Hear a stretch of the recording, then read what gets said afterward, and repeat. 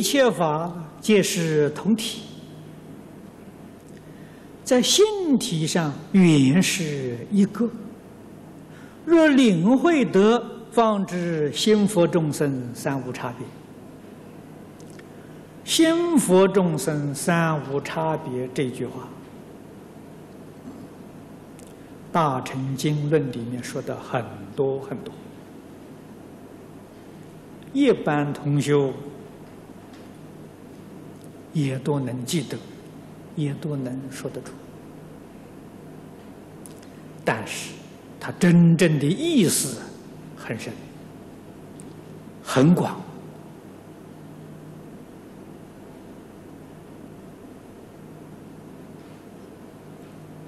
心是本体，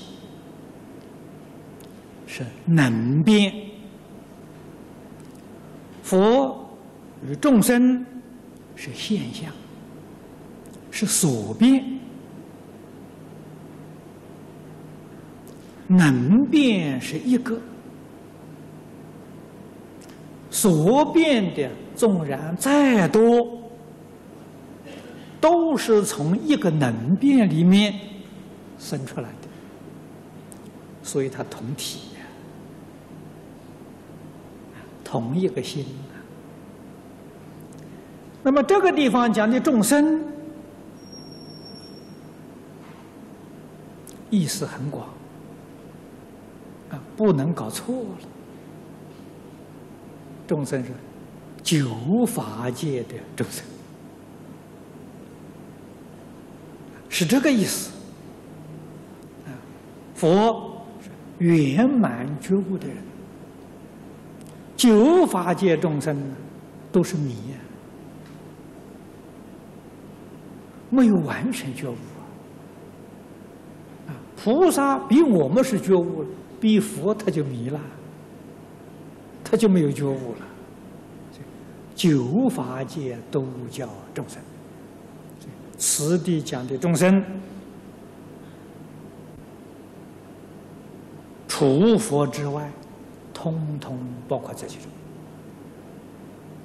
不但九法界有情包括在其中，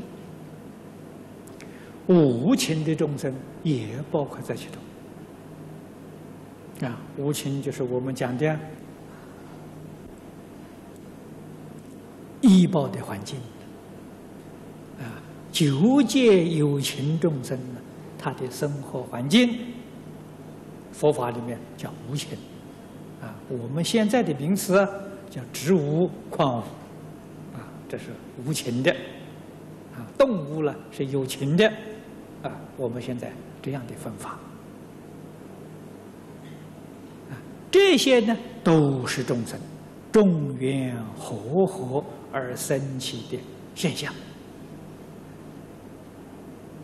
全是从自信里面变现出来的，所以同体呀，这就说明了，十法界一真庄严，同一个本体，所以这三样没有差别啊，一二三，三二一啊，譬如。以金做气，气气皆金。啊，我们用黄金啊做做体，我们用同样一个黄金啊造这个十法金啊，我们把它造一个佛像，造一个菩萨像，啊，造一个罗汉像，乃至于做一个小狗、小猫，啊啊，做个畜生像。金的成分一样的，重量一样的，价值也一样的，哪有差别呢？没有差别，不能说啊这个佛像就特别贵一点，呃那个小这小狗小猫就便宜一点，没那回事情，成色一样，重量一样，价钱相等。那不可能，因为哦，你这个佛像啊，价钱高一点，没这个道理。三无差别啊，从这个比喻当中啊，诸位细细去体会。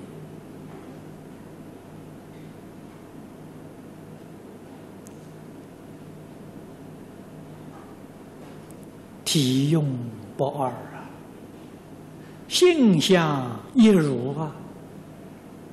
这些话跟这个心佛众生三无差别，意思完全相同啊。所以佛说佛说法了，许许多多这些话呢，可以拿来互相来解释啊。这个样子，它的意思。你才真正能够明了，啊，才能够体会到，佛用这种方法来说，他的妙处啊，就是叫我们不要执着，怎么说都行，性相一如行，体用不二也行，三无差别也行，怎么说都行，不要执着言语。不要执着名词，这就对了。啊，所以是一切方式，无非是叫我们立分别、立执着。否则的话，讲一个名词就好了，何必讲那么多呢？啊，它有它的用意在。啊，这些呢？都是《金刚经》里面重要的宗旨。